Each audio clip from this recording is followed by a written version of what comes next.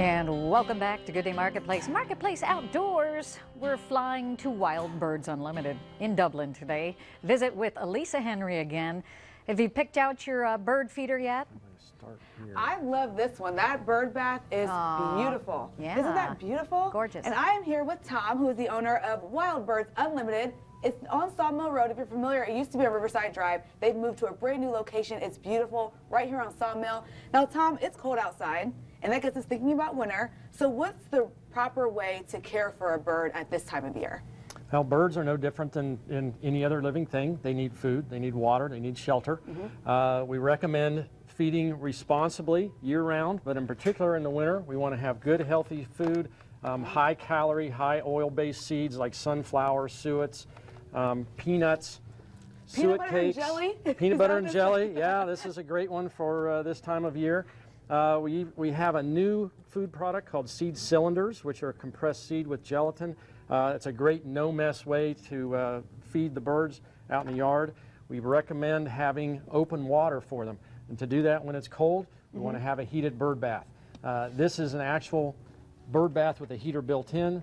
This is a heating element that can go into an existing bath and keep open some water so that they can have something fresh to drink and, and bathe with uh, in the coldest of weather. Uh, we also recommend checking out your feeders. You want to keep them free of, of ice and snow during the winter. Um, you want to have something that can clean very easily, so these pop out bottoms are great. Uh, you also want to think about putting a weather cap over the feeders, and that protects them from rain and snow, the elements. How many birds will this attract? Like, I'm imagining putting this in my backyard and there being a thousand birds. Is that going to happen? Or is it, you know, some people don't want like a big bird fest in their backyard, but will it attract, you know, maybe just a few birds or will it be a ton of birds on it? Well, a lot of it depends on your habitat. Okay. Everybody's backyard's different. If you have a lot of shelter, you, you won't get thousands, but you may get uh, you know dozens of birds coming in. The kids will like that though. Oh, the kids cool. love it, yeah, and, and it's an adults. I mean, I started with my mom when I was young. Uh, it's blossomed into our family business here, and our son is the next generation coming on. So, uh, it's, Wow. it really is a rewarding hobby. And when people are watching right now, they're thinking they want to come out and see you here at Wild, Wild Birds Unlimited. What can you do for them if they're just maybe getting started with feeding birds? Well, we like to ask a few questions first, find out what their backyard is like, what kind of birds we can expect.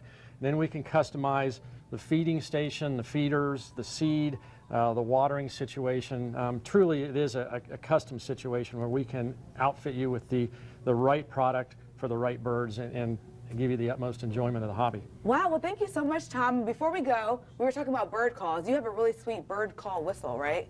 It's a little bird whistle. Yeah, let's check that out really quick. That is neat.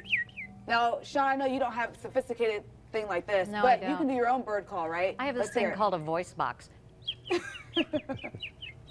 That's actually really good. They're coming!